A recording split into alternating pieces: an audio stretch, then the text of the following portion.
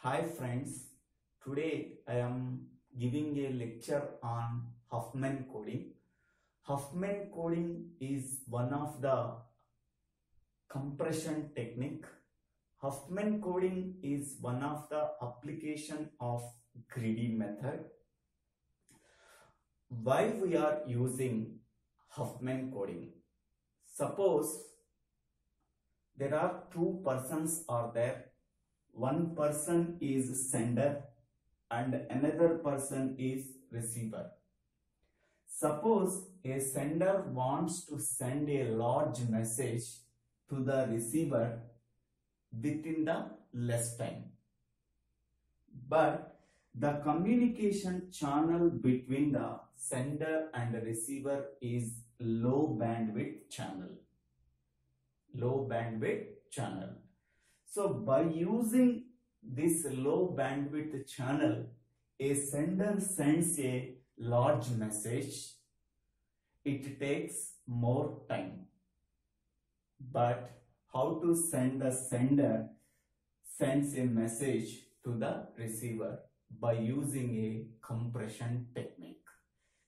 So this compression technique is called as Huffman coding so Huffman coding is one of the lossless compression technique. So in this technique, what is the message that is sent by the sender? That message is converted into some encoding form. That message is sent to the receiver. Then the receiver decodes this message and finally what is the content is there in that message is known by the receiver.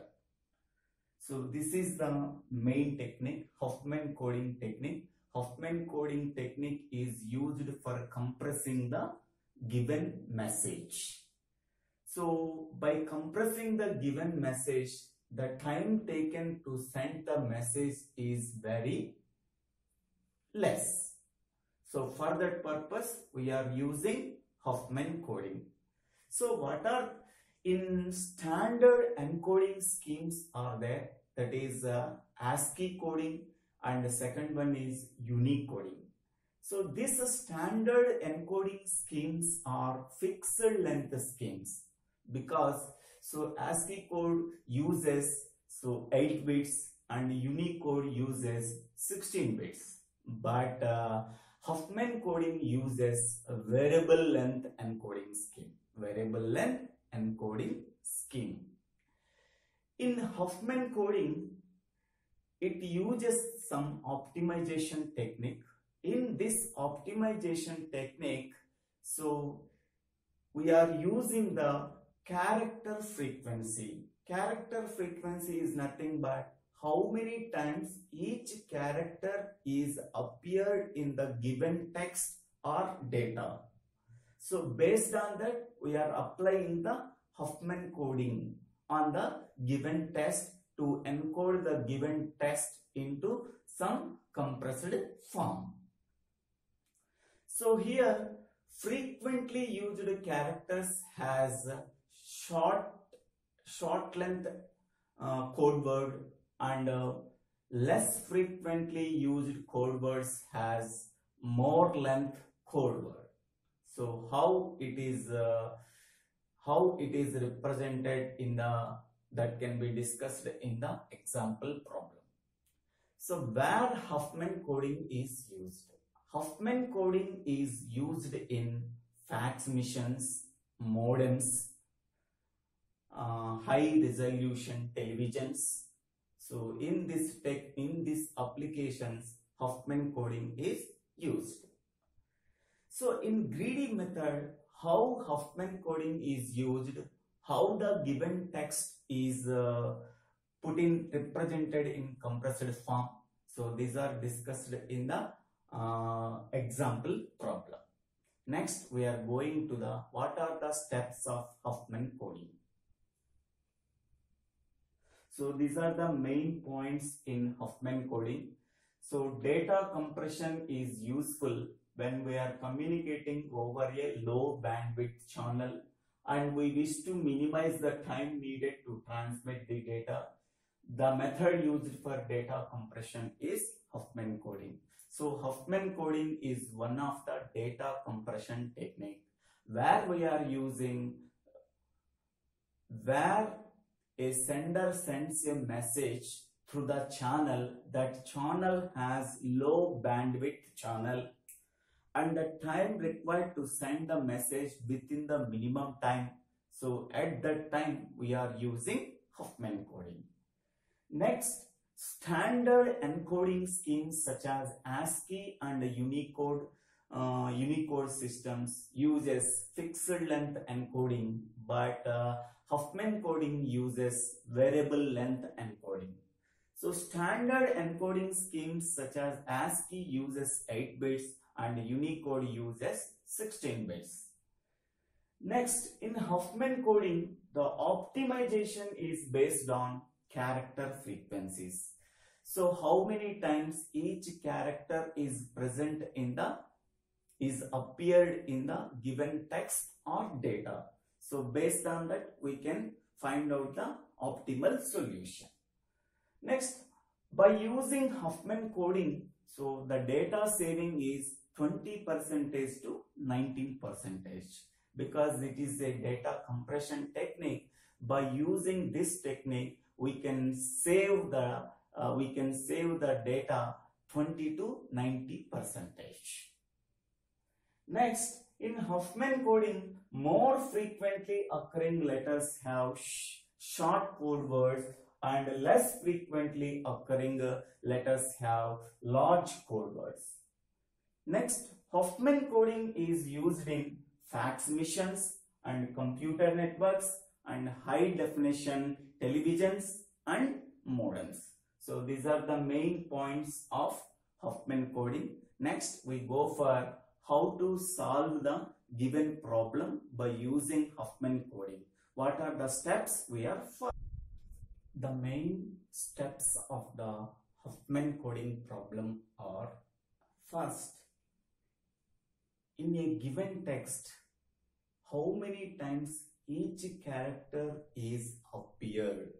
So that is find out the frequency of each and every character in the given file or text message.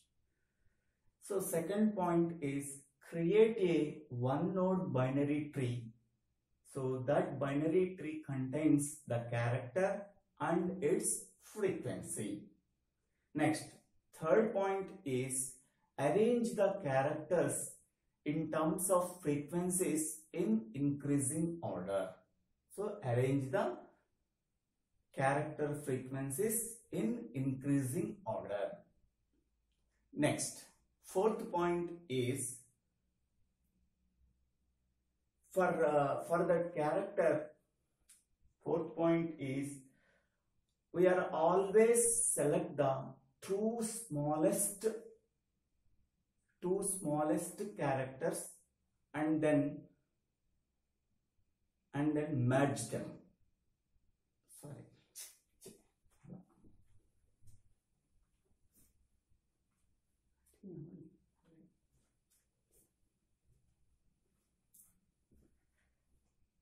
the steps of the Huffman code algorithm are the first step is find out the frequency of each character within the given message or within the file. After finding out the character frequency of each character, then we are creating a one node binary tree.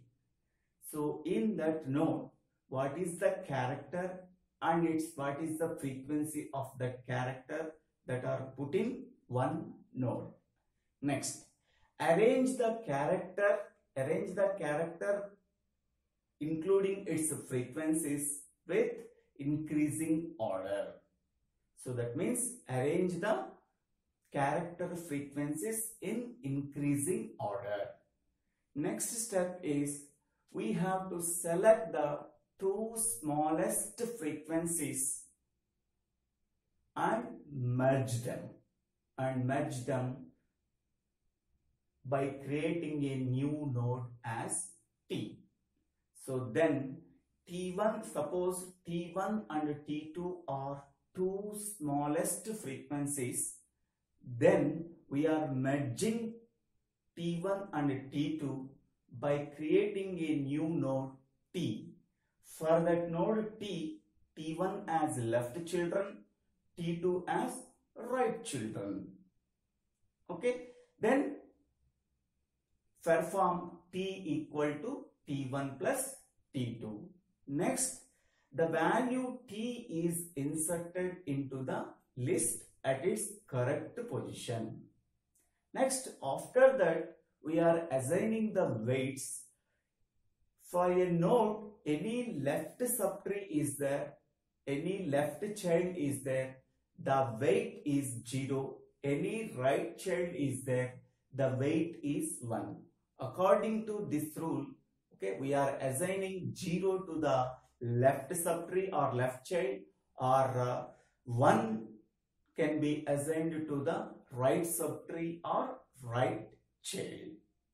Okay, then after that we have to find out the code word for each and every character. So these are the following steps in Huffman coding. Okay, once again, the first step is find the frequency of each character in the file to be compressed. Okay, so what are the characters are there in the given message or given file to be compressed? So for each and every character in the file, find out the frequency. Find out the frequency of each and every character in the given file to be compressed. Next, second one, for each distinct character, create a one-node binary tree containing the character and its frequency. So, after finding out the frequency of each and every character in the file, create a one-node binary tree. It contains what is the character and what is the frequency of that character. Next, third point, insert the one-node binary trees in, in increasing order of frequencies. Suppose there are uh, five characters are there. So A, P, N, D, C. So we are arranging these characters in, in terms of frequencies in increasing order. So according to that, we are arranging the character frequencies in increasing order. Next, fourth point, Dequeue two smallest trace T1 and T2. Create a tree T that contains T1 as left child and T2 as right child. So from the given list, after after arranging the character frequencies in increasing order, First, we have to select the two smallest frequencies, two smallest frequencies. So that is T1 and T2. Create a tree T that contains T1 as left child and T2 as its right child. So then merging T1 and T2 then we are getting a new node t. That means t equal to t1 plus t2. So the new node value t is inserted into the file or list at its correct position. Next, assign 0 and 1 weights to the edges of the resulting tree. So 0 for left child, 0 for left child, and one for right child. 0 for left child and 1 for right child. So finally write the code word for each character from root to that leaf node.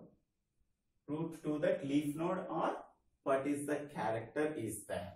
So after after completing these steps for each and every character in the given file, we have some code word.